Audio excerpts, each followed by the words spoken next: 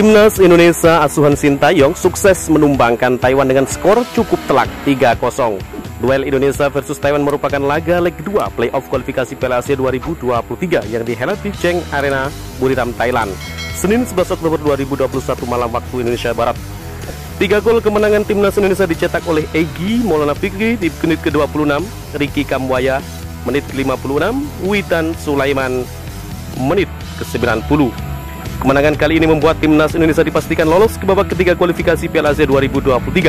Timnas Indonesia lolos dengan total agregat 5-1 atas Taiwan. Sebagai informasi, babak ketiga kualifikasi Piala Asia 2023 menggunakan sistem grup dan akan diikuti oleh total 24 negara.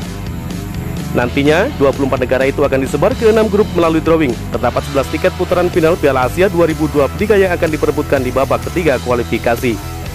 Total 11 tiket itu diperuntukkan untuk 6 juara grup dan 5 runner-up terbaik babak ketiga kualifikasi Piala Asia 2023. Hingga saat ini, sudah ada 13 negara yang sudah dipastikan tampil di putaran final Piala Asia 2023, termasuk salah satunya adalah tuan rumah China. Adapun Vietnam menjadi satu-satunya negara Asia Tenggara yang sudah mengantongi tiket putaran final Piala Asia 2023 sejauh ini.